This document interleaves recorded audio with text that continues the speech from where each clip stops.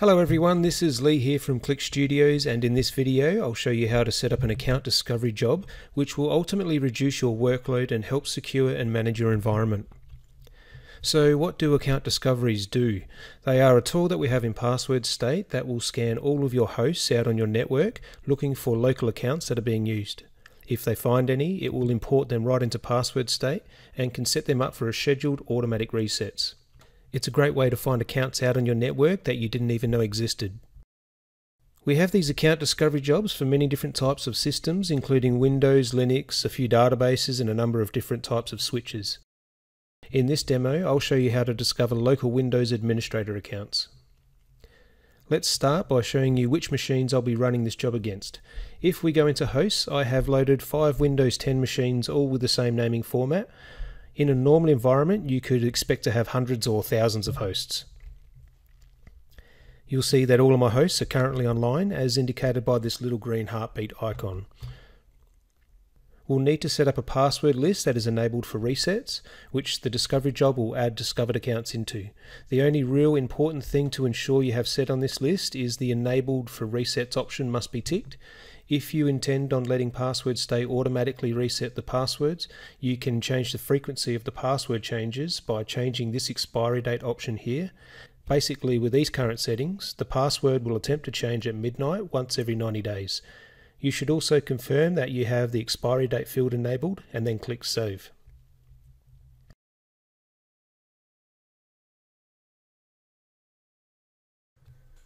Next, you'll need to add in a privileged account from the administration area, and you need to ensure that this account has enough permissions to connect to your host machines. So for this particular discovery job, I'm adding in a domain account that has administrator permissions to any Windows desktop in my environment.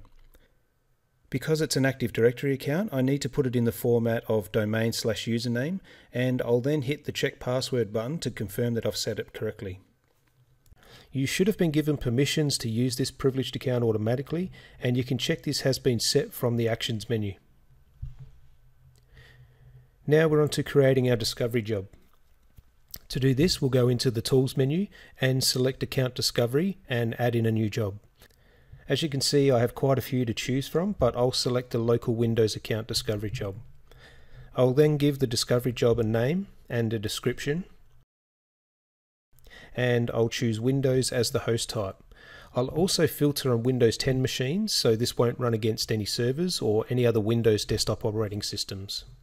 Now, I've only got five Windows 10 machines in my system, but it is possible to filter based on the host name. So I'll add in Win10 Work as the filter, so it only runs against machines with that description in their name. And you might find this useful if you're trying to discover accounts on separate connected domains. And as an example, you could put in here contoso.com. Now, if you wanted to specifically exclude one or more machines, you can add the values into this field here.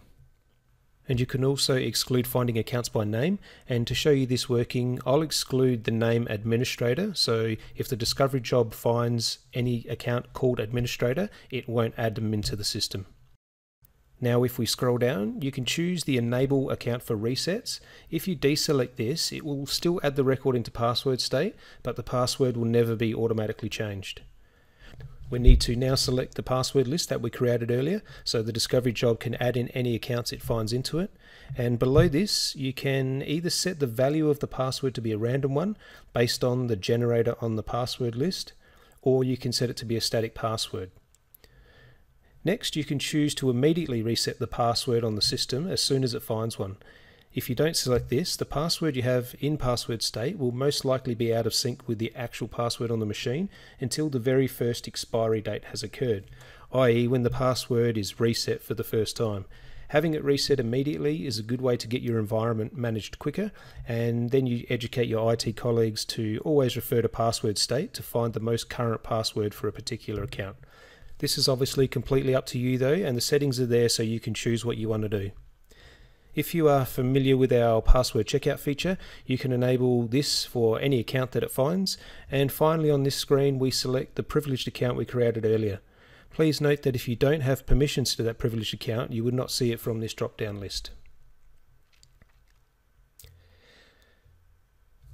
Next, we set a schedule for when this discovery job should run, and I'll set mine to run at 6 pm at night on a daily basis.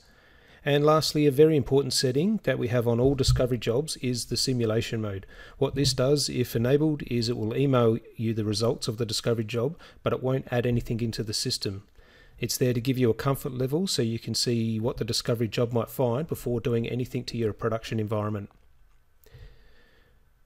Now if I click save you'll see in the grid that my discovery job is set to run at 6pm daily. It's currently in simulation mode and it's enabled. If you wanted to disable a job from running you would toggle its status from the actions menu and we can also run discovery jobs immediately which I'll do now so you can see one in progress. Now you'll notice the time has changed and the Passwordstate Windows service will pick this discovery job up sometime within the next minute and attempt to run it. I'll skip this part of the video to keep it a little bit shorter.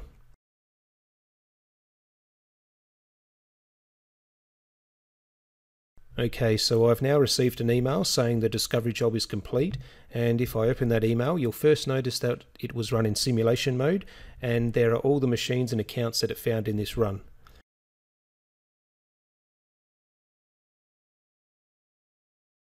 If I go back to my discovery job, I'll untick this simulation mode and save it again. So the next job I run will add in all of those accounts into my password list. Also, if we quickly check the password list, you'll see that it is still empty. Now I'll go back and run the job again and we'll skip the video again to the point where I receive the email. Okay, if you happen to be on this page when a discovery job is running, you should see a little progress indicator and next to that you'll see the last discovery took 38 seconds and the one that just completed took 20 seconds. If we go to the new email now, you'll see that this time it's not in simulation mode and it found all, all of the same accounts. Let's go back to the password list and we should see that it has imported all of the accounts successfully and it says in here that all of the accounts are now queued for reset. This should process these all fairly quickly. I'll quickly change my grid display to 10 results as I'm on a smaller screen and just to give me a bit more real estate. And now that I've done that, you can see that all accounts have successfully reset. And you can tell this as they have a green icon here and the heartbeat icon next to it is also green. That just indicates that Passwordstate is in sync with the actual account out on the machine. If we open up some of the passwords, you'll see that they all have a different value and they're all random.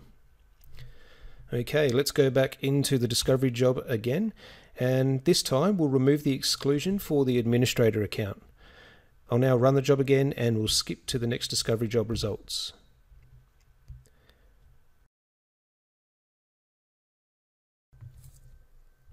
Okay, we're back again now, and in the email that has just come through, you'll notice that it's only found four accounts this time, which are called administrator, and that's because we just took that exclusion out of the discovery job. You'll also notice that it hasn't discovered any of the previous accounts that our second discovery job ran. Accounts like Marley, Admin1, Admin2, this is because Passwordstate won't discover an account twice. If it already exists in a password list somewhere in your system, then the discovery job won't add it in a second time.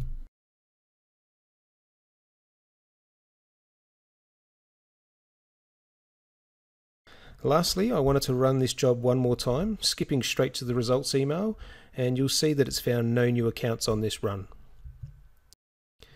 So I hope this has helped and the same logic for local Windows accounts discovery job applies to any other account discovery. You just need hosts, a privileged account, a password list and a configured discovery job for it all to work. If you have any questions about this, please feel free to contact us on support at clickstudios.com.au and thanks very much for watching.